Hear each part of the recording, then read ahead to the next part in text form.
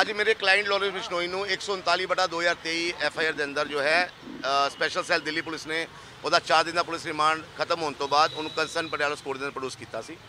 ਔਰ ਇਹ ਆਮ ਸਿੱਖ ਦਾ ਮੁਕੱਦਮਾ ਹੈ ਇਹ ਦਿਨ ਜੋ ਹੈ ਉਹਨੂੰ ਅਰੈਸਟ ਕੀਤਾ ਗਿਆ ਸੀ 4 ਦਿਨ ਪਹਿਲੇ ਮੰਡਾਵਰੀ ਜੇਲ੍ਹ ਤੋਂ। ਅੱਜ ਦਾ ਪੁਲਿਸ ਰਿਮਾਂਡ ਖਤਮ ਹੋਣ ਤੋਂ ਬਾਅਦ ਉਹਨੂੰ ਪ੍ਰੋਡਿਊਸ ਕੀਤਾ ਗਿਆ ਔਰ ਫਰਦਰ ਐਕਸਟੈਂਸ਼ਨ ਵਾਸਤੇ ਕੋਈ ਐਪਲੀਕੇਸ਼ਨ ਸਪੈਸ਼ਲ ਸੈੱਲ ਵੱਲੋਂ ਮੂਵ ਨਹੀਂ ਕੀਤੀ ਗਈ।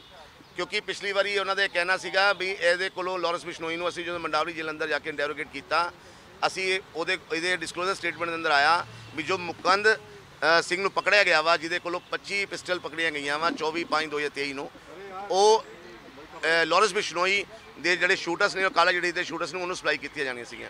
ਔਰ ਲਾਰੈਂਸ ਬਿਸ਼ਨੋਈ ਨੇ ਆਪਣੇ ਡਿਸਕਲੋਜ਼ਰ ਸਟੇਟਮੈਂਟ 'ਚ ਇਹ ਕਿਹਾ ਵਾ ਮੰਡਾਵਲੀ ਜ਼ਿਲ੍ਹੇ ਅੰਦਰ ਵੀ ਇਹ ਮੇਰੀ ਜਦੋਂ ਮੈਂ ਅਪ੍ਰੈਲ 2023 ਅੰਦਰ ਬਠਿੰਡਾ ਜ਼ਿਲ੍ਹੇ ਅੰਦਰ ਬੰਦ ਸੀ ਤੇ ਮੇਰੀ ਟੈਲੀਫੋਨਿਕਲੀ ਜਿਹੜੀ ਗੱਲ ਸੀ ਉਹ ਗੋਲਡੀ ਬਰਾੜ ਦੇ ਨਾਲ ਹੋਈ ਸੀ। ਗੋਲਡੀ ਬਰਾੜ ਨੇ ਦਿਲਪ੍ਰੀਤ ਜੋ U S A based gangster ਹੈ ਉਹਨੇ ਉਹਦੇ ਇਸ਼ਾਰੇ ਤੇ ਇਹ ਆਰਮਸ ਜੋ ਹੈ ਮੇਰੇ ਮੁੰਡਿਆਂ ਨੂੰ ਸਪਲਾਈ ਕਰਨ ਵਾਸਤੇ ਮੈਂ ਆਰਡਰ ਦਿੱਤਾ ਸੀਗਾ।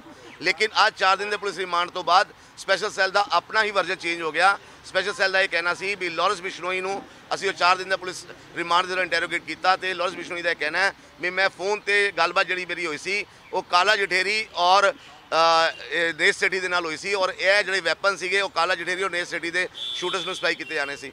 ਇਹਦੇ ਵਾਸਤੇ ਕੋਰਟ ਨੇ ਬਹੁਤ ਬੜਾ ਆਬਜੈਕਸ਼ਨ ਕੀਤਾ। ਔਰ ਅਸੀਂ ਕੋਰਟ ਦੇ ਸਾਹਮਣੇ ਕਿਹਾ ਵੀ ਇਹ ਤਾਂ ਆਪਣਾ ਹੀ ਵਰਜਨ ਨੂੰ ਚੇਂਜ ਕਰ ਦਿੱਤਾ ਇਹਨਾਂ ਨੇ। ਜਿਸ ਵਰਜਨ ਨੂੰ ਪਹਿਲੇ ਕਹਿੰਦੇ ਪਏ ਸੀ, ਉਹਦੀ ਵਰਜਨ ਨੂੰ ਬਿਲਕੁਲ ਡਿਫਰੈਂਟ ਹੈ ਵਰਜਨ ਹੈ। ਇਸ ਕਰਕੇ ਉਹਨਾਂ ਨੂੰ ਕੋਈ ਫਰਦਰ ਪੁਲਿਸ ਰਿਮਾਂਡ ਨਹੀਂ ਦਿੱਤਾ ਗਿਆ। ਔਰ ਮੇਰੇ ਕਲਾਇੰਟ ਲਾਰੈਂਸ ਬਿਸ਼ਨੋਈ ਨੂੰ 14 ਦਿਨ ਵਾਸਤੇ ਇਸ ਕੇਸ ਦੇ ਅੰਦਰ ਪੁਲਿਸ ਜੁਡੀਸ਼ੀਅਲ ਕਸਟਡੀ ਦੇ ਅੰਦਰ ਮੰਡਾਵਲੀ ਜੇਲ੍ਹ ਅੰਦਰ ਭੇਜ ਦਿੱਤਾ ਗਿਆ। ਲਾਰੈਂਸ ਦੀ ਜੱਜ ਸਾਹਿਬ ਨਾਲ ਗੱਲ ਹੋਈ ਹੈ। ਅੰਦਰ ਕੋਈ ਸਮੱਸਿਆ ਉਹਨੂੰ?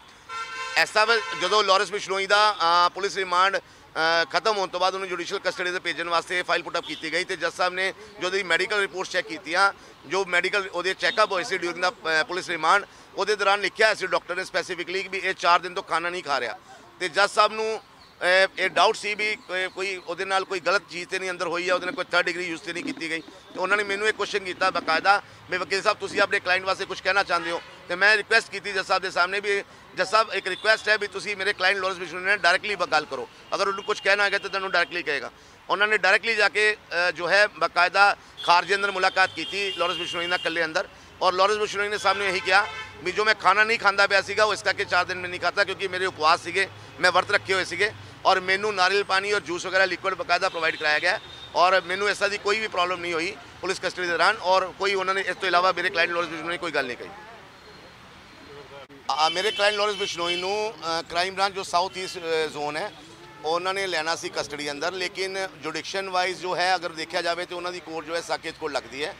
ਅੱਜ ਉਹ ਚਾਹੁੰਦੇ ਤੇ ਸਾਡੇ ਪਟਿਆਲਾ ਸਕੋਰ ਦੇ ਅੰਦਰ ਉਹ ਇੱਕ ਪ੍ਰੋਡਕਸ਼ਨ ਵਾਰੰਟ ਦੀ ਐਪਲੀਕੇਸ਼ਨ ਲਗਾ ਕੇ ਔਰ ਪ੍ਰੋਡਕਸ਼ਨ ਹਾਸਲ ਕਰ ਸਕਦੇ ਸੀ ਔਰ ਕੰਸਰਨ ਕੋਰਟ ਦੇ ਪ੍ਰੋਡਿਊਸ ਕਰਕੇ ਉਹਦਾ ਪੁਲਿਸ ਰਿਮਾਂਡ ਹਾਸਲ ਕਰ ਸਕਦੇ ਸੀ। ਲੇਕਿਨ ਕ੍ਰਾਈਮ ਬ੍ਰਾਂਚ ਨੇ ਕੋਈ ਵੀ ਐਪਲੀਕੇਸ਼ਨ ਇੱਥੇ ਪੁੱਟ ਅਪ ਨਹੀਂ ਕੀਤੀ ਤੇ ਸਾਨੂੰ ਪੂਰੀ ਪੋਸਿਬਿਲਿਟੀ ਹੈ ਵੀ ਕੱਲ੍ਹ ਉਹ ਮੰਡਾਵਲੀ ਜਲੰਧਰ ਹੀ ਜਾਣਗੇ, ਉੱਥੇ ਇੱਕ ਫਾਰਮਲ ਅਰੈਸਟਿੰਗ ਪਾ ਕੇ ਔਰ ਫਿਰ ਉਹ ਆਪਣੀ ਕੰਸਰਨ ਕੋਰਟ ਸਾਕੇਤ ਕੋਰਟ ਅੰਦਰ ਪ੍ਰੋਡਿਊਸ ਕਰਨਗੇ ਔਰ ਉੱਥੋਂ ਹੀ ਮੇਰੇ ਕਲਾਇੰਟ ਲਾਰੈਂਸ ਬਿਸ਼ਨੋਈ ਦਾ ਪੁਲਿਸ ਰਿਮਾਂਡ ਹਾਸਲ ਕੀਤਾ ਜਾਏਗਾ